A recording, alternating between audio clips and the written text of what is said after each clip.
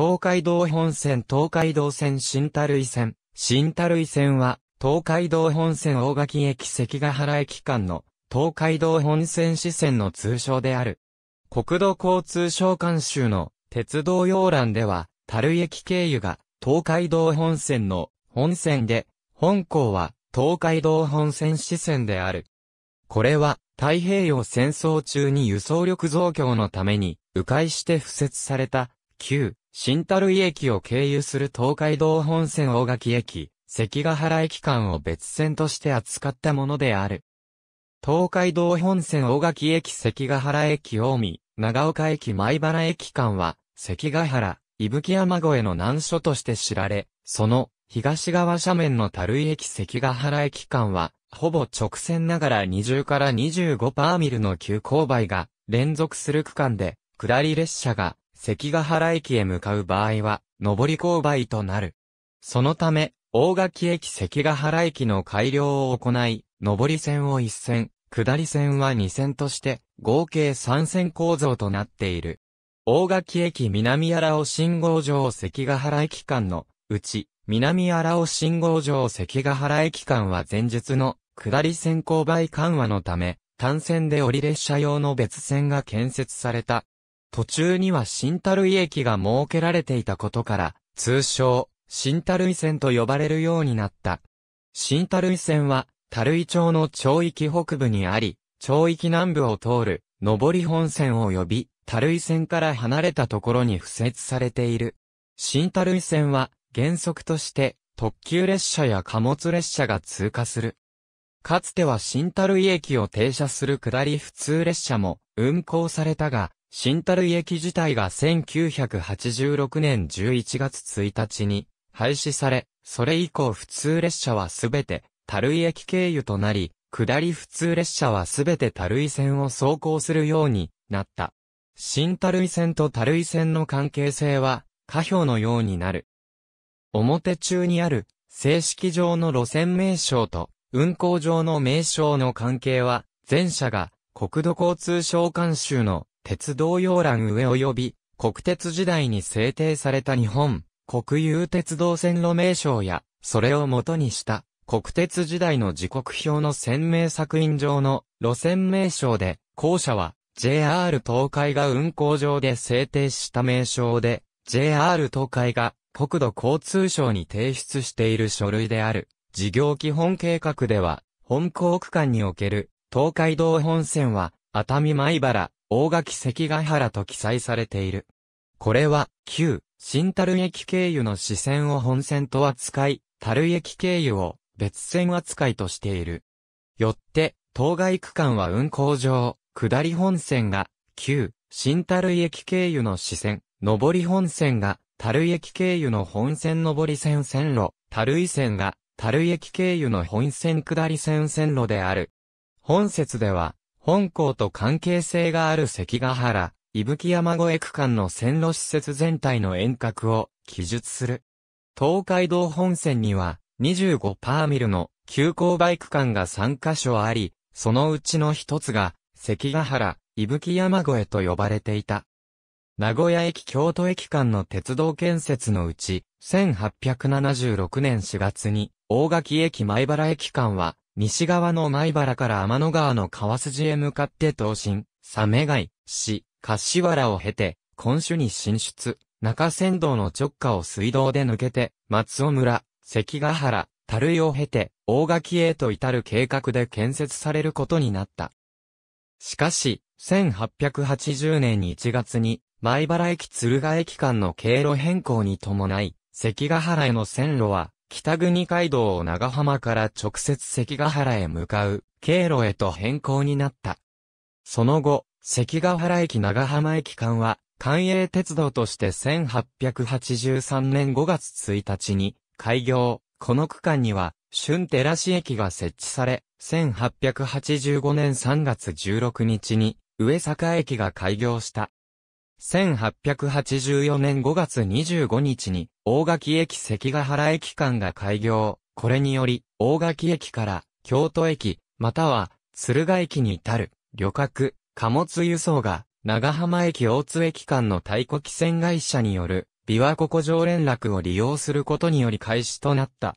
1889年7月1日に、関ヶ原駅、春寺市駅間にある深谷から、長岡駅を経由して、米原駅まで至る線路が開通。これにより、東海道本線が全通した。同時に、米原駅長浜駅間の開業と、分岐点長浜駅間及び、春寺市駅は廃止となるが、後者の線路は残され、この区間は1891年1月21日に貨物線として復活し、分岐点には深谷駅が開業した。大垣駅関ヶ原駅長岡駅間は、伊吹三島西側斜面にあたり、両者とも25パーミルの急勾配が連続する区間であった。この区間においては、勾配を10パーミル程度に抑える、勾配緩和対策が施行され、関ヶ原駅長岡駅間と大垣駅、関ヶ原駅間に分けられて施行された。関ヶ原駅長岡駅間は、伊吹山の西側斜面にあたり、25パーミルの急勾配が連続する区間であった。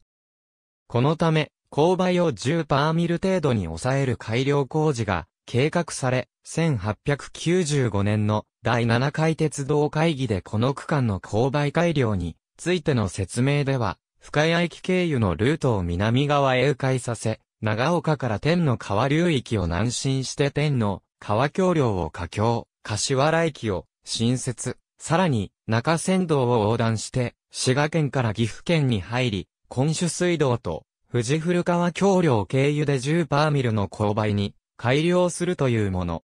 その後、1899年10月15日に関ヶ原駅長岡駅間が開業。同年12月28日に、関ヶ原駅深谷駅長浜駅間の貨物線及び深谷駅長岡駅間が廃止となる。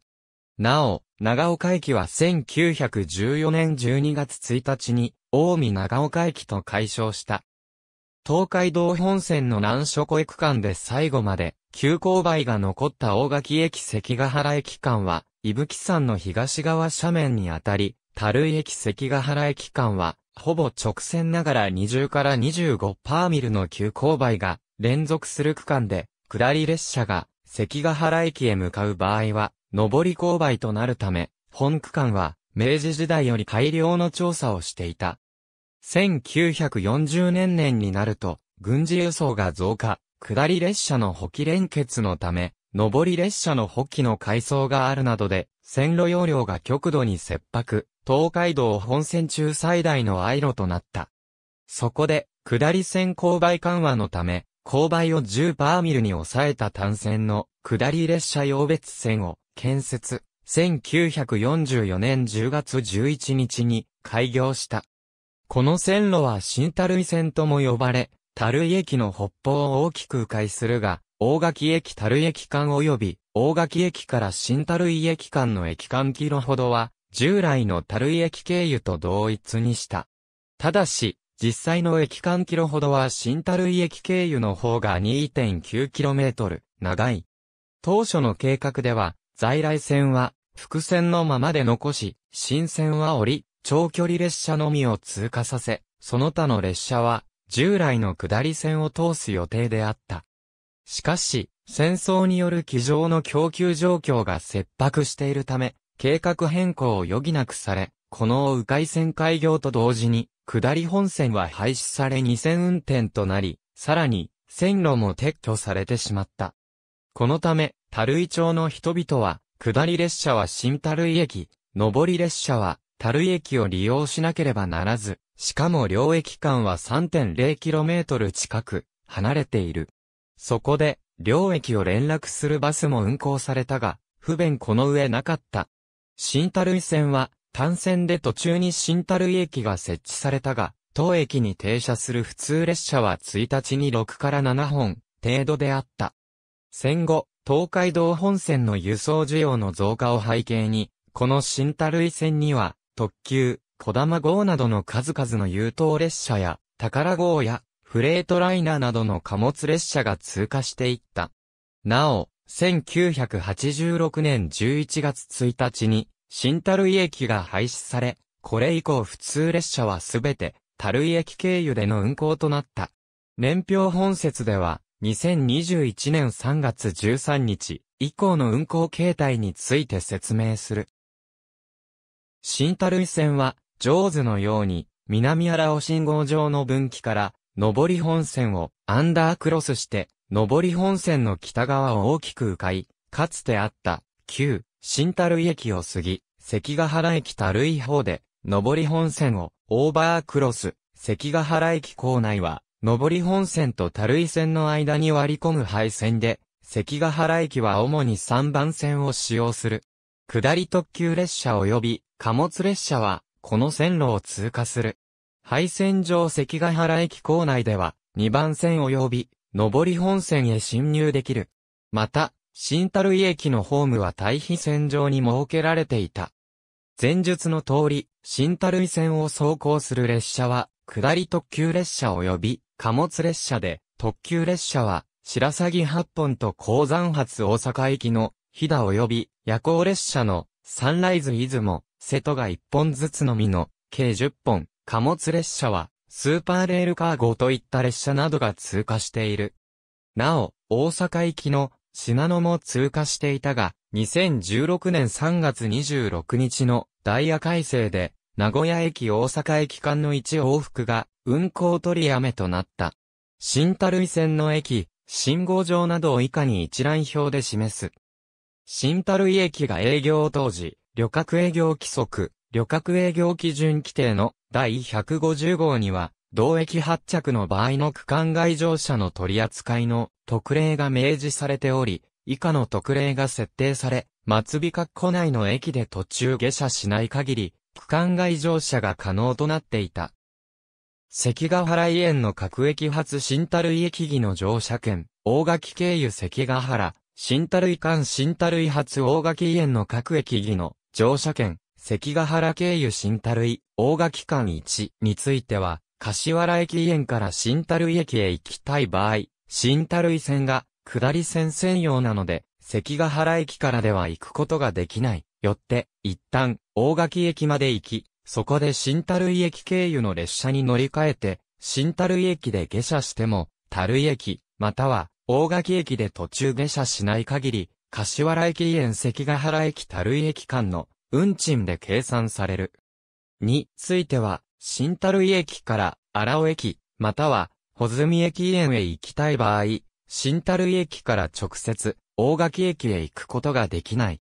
よって、一旦、関ヶ原駅まで行き、そこで、樽井駅経由の列車に乗り換えて、荒尾駅、または、穂積駅園で下車しても、関ヶ原駅、または、樽井駅で途中下車しない限り、樽井駅大垣駅荒尾駅、または、穂積駅園の運賃で計算される。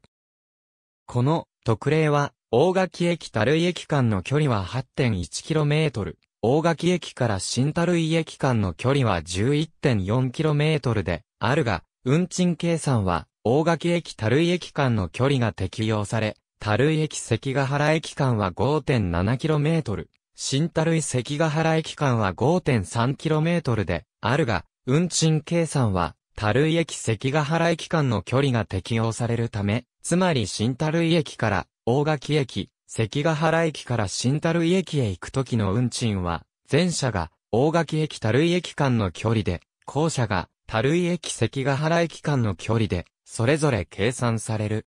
さらに言えば、名古屋駅から特急列車に乗って、前原駅園の各駅や北陸本線の各駅に行く場合の運賃計算は、新樽井駅経由であっても樽井駅経由で計算される。これは、大垣駅樽井駅関ヶ原駅間及び、大垣駅から新樽井駅関ヶ原駅間の駅間キロほどは、従来の樽井駅経由と同一にしたためである。